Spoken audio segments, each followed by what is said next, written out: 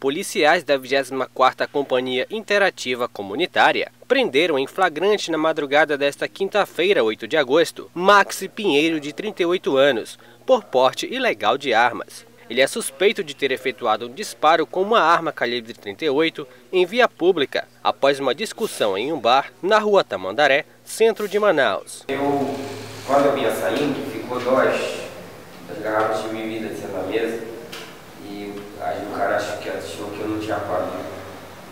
Aí me voltou pra lá pro bar e disse que eu tinha que pagar. Senão eu já paguei, pergunta pro garçom aí. Aí ele falou que não, e achou que eu me dinheiro vale.